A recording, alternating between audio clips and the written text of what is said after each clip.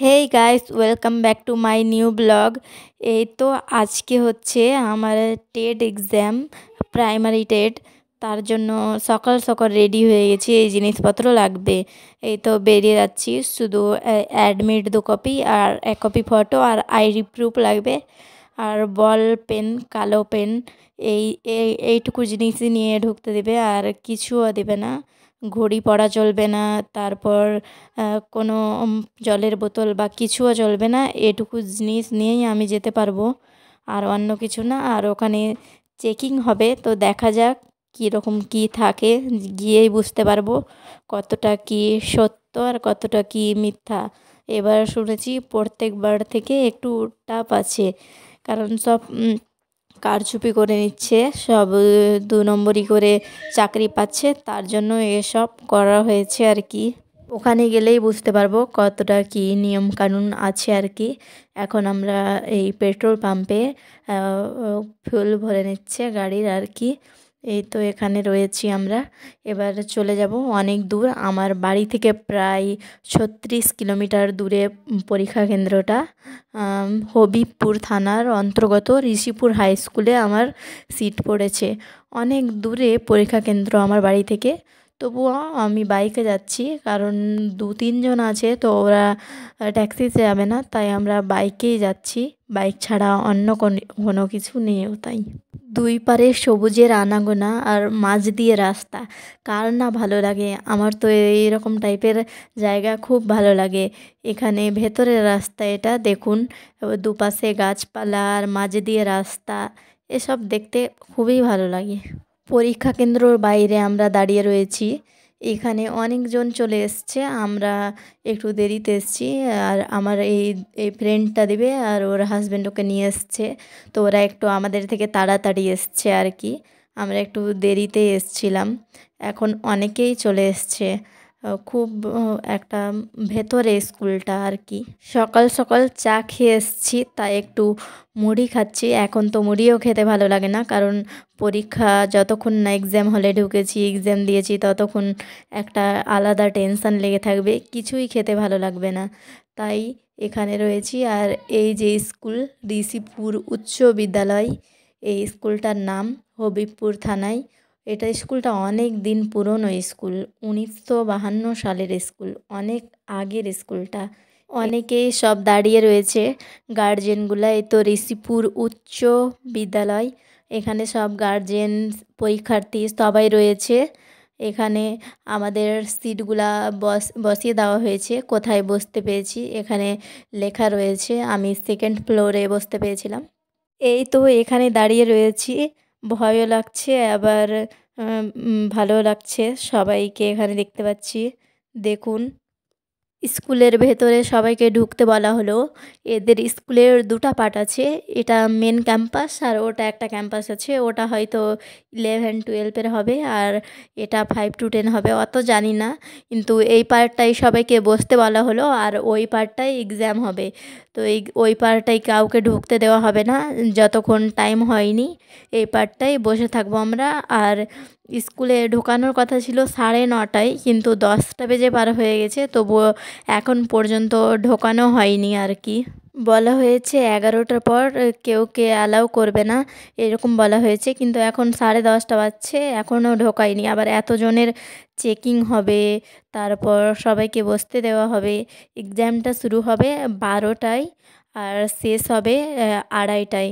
এরকম time mention করা আছে অ্যাডমিট কার্ডে আমাদের আর কি। এবার ঢোকাতে আরম্ভ করেছে এইখানে সব মেয়েদের লাইন আছে আর ওই সাইডে ছেলেদের লাইন আছে। এদিকে বায়োমেট্রিক মেশিন না কি বলছে ওটা দিয়ে চেকিং হচ্ছে। আর এই তো কোয়েশ্চেনে এটাতে, এই গাড়িটাতে হয়তো এসছে, পুলিশের গাড়ি আছে। এই গাড়িটাতে আসলো। আর এখানে তো লাইন, সবাইকে চেকিং করে ঢোকাবে। ও কিছু হাতে নিয়ে যেতে পারব না, ও কয়েকটা জিনিস ছাড়া। এক্সাম দিয়ে আমরা বেরিয়ে গেছি। এই তো ওই, এই এই এই পার্টটায় আমরা এক্সাম দিচ্ছিলাম এইখানে দোতলার ওপরে আমরা এক্সাম দিচ্ছিলাম আর কি। এখানে সব কিছু নিয়ে যাচ্ছে, যত যা ছিল। এই তো আমরা মালদার ডিস্কো মোড়ে আছি। এখানকার চা তো খুব বিখ্যাত, সবাই জানে। তাই এখানে চা খাব। দাদা আছে সঙ্গে। আমার দাদা বলতে আমার দিদির দেওর। তো আমার শন ভাই বলে দিদির দেওরকে ওটাই দাদা বলি আমি। তো দাদার সঙ্গে এসেছি, এই তো এই চাটা এই চাটা খুব ফেমাস এখানকার আর খেতে ভালো। আর এই দাদাটার সঙ্গে আমি এক্সাম দিতে এসেছিলাম। এক্সাম যা হলো হলো। এবার একটু পেট শান্তি করতে হবে, তাই আমরা বিএম গ্র্যান্ডে ঢুকবো আর কি। বিএম গ্র্যান্ডের এই গাছপালাগুলো দেখতে প্রচুর ভালো লাগে আর এখানে অসংখ্য গাছ লাগানো রয়েছে, যা দেখতে খুবই ভালো লাগে।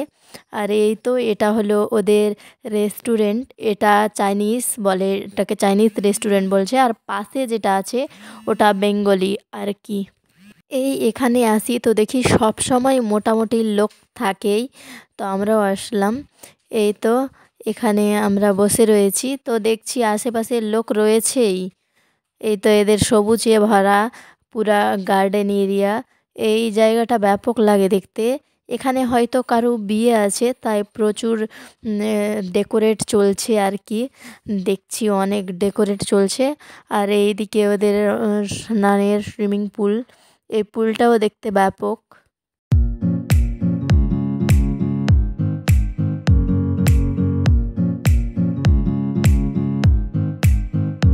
এই জায়গাটা কত সুন্দর লাগছে। চারিদিকে সবুজ সবুজ আর মাঝে ব্লু, ব্যাপক লাগছে। আর এখানে আবার বিএম গ্র্যান্ড লেখাও আছে। দেখতে খুব সুন্দর লাগছে। চারিপাশটাই একদম খুবই সুন্দরভাবে সাজানো আর কি। খুব ভালো লাগে এখানে। এই তো আমি এমনি ভিডিও করছিলাম র্যান্ডমলি কিছুই না। যা তা বকছিলাম আর ভিডিও বানাচ্ছিলাম। এদের ডেকোরেট আইডিয়াটা খুব ভালো আছে। ইউনিক স্টাইলে পুরোটাকে একদম সাজিয়ে রেখেছে। আর চারিপাশে গাছ দিয়েছে। এটাই প্রচুর ভালো করেছে। সবুজ না থাকলে যতই আপনি যা করেন, কিছুই ভালো লাগবে না। তাই এখানে সবুজে ঘেরা রয়েছে। আর বিল্ডিংও রয়েছে। তাই সব মিলিয়ে যেন খুবই সুন্দর। এখানে সব ছবি তুলতে বিজি দেখুন। আর এই যে দেখুন, বিয়ের কত ডেকোরেট করছে এই জায়গাটা। আর এখানে ডিসেম্বরে থার্টি ফার্স্ট ডিসেম্বর কোনো একটা বড় কিছু ফাংশান হয় এখানে, শুনেছি। এই গাছগুলো না ব্যাপক লাগছে, ব্যাপক মন ভরে যাচ্ছে দেখে। আমরা খাবার অর্ডার দিয়ে বাইরে ছবি টবি তুলছিলাম। দেখছি খাবার চলে এসছে। খাবারে নিয়েছি রুটি আর নিয়েছি মুরগ মশালা, চিকেন কি একটা বলছে, এরকম টাইপের দুটো আইটেম নিয়েছিলাম। আমরা খেতে খুব ভালো লেগেছে। এখানকার খাবারের রিভিউ দিলে বলব হ্যাঁ ভালো, খুবই ভালো।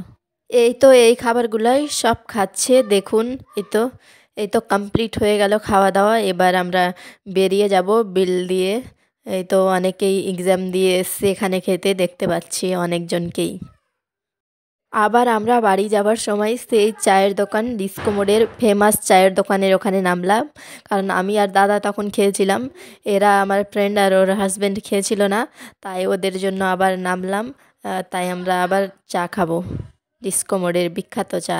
এই তো চারটা চা, এখানকার চা খুবই ভালো হয় খেতে। সবাই দূর দূর থেকে এখানে চা খেতে আসে স্পেশালি তো বেশ ভালো চাটা আর কি। চাটা খেয়ে আমরা বাড়ি বেরিয়ে যাব, কারণ অনেক লেট হয়ে গেছে, প্রায় পাঁচটা মতো বাজতে চলল। এই তো আমরা বেরিয়ে গেলাম।